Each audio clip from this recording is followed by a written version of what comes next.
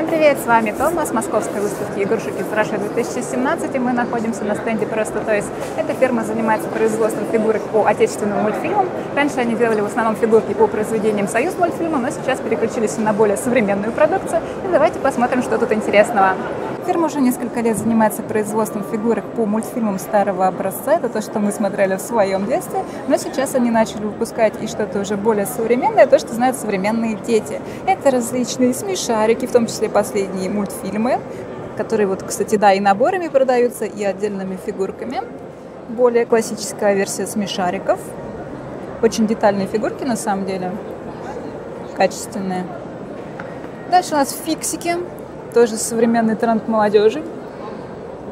Недавно они их сделали, по-моему, в прошлом году. Там на заднем плане у нас советская мультипликация продолжается. Дальше у нас большая ветка с амнямом. Вот эти, кстати, фигурки были еще в коробочках с сюрпризами, насколько я знаю.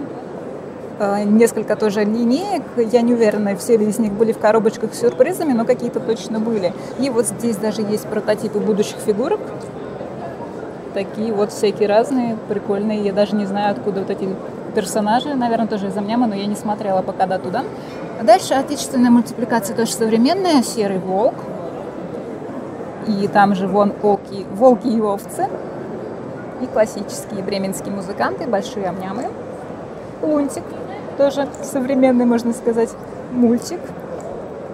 Тут есть, кстати, еще большой амням. Смотрите, какой огромный. Давайте посмотрим дальше. Фирма делала также ряд фигурок для выпуска в журналах Angry Birds. Это, собственно, свинки всякие разные. Там, по-моему, что-то было вроде набора с шахматами, по-моему. Собственно, черные и белые, да, черные свинки и белые у нас птички. Они, насколько я видела, продаются прямо в магазинах, в киосках, в магазинах, киосках, в газетных киосках э, журналы вот с фигурками. То есть надо было собирать... Ух ты, какой толстый, смотрите.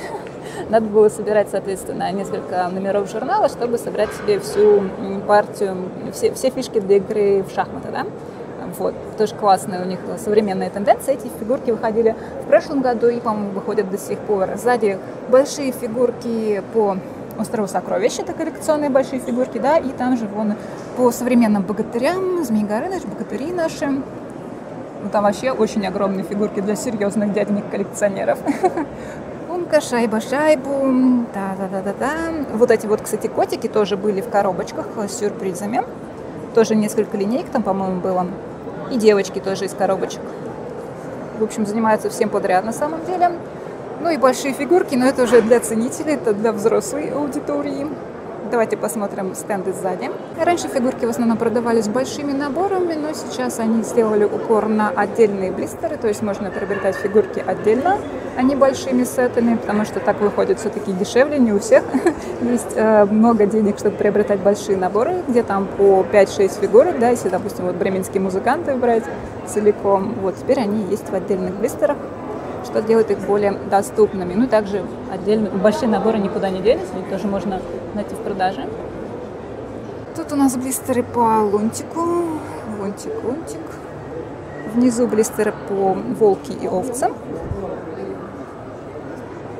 И также современные богатыри наши. Иван Царевич и Серый Волк. Маугли. И вот, да, раньше они были в таких вот больших сетах старые образцы, что называется. Ну и, конечно, такие наборы были более дорогостоящие.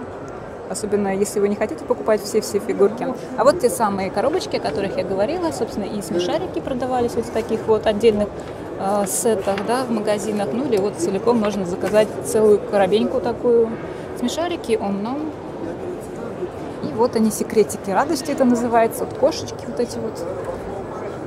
Смешарики и темные кошечки.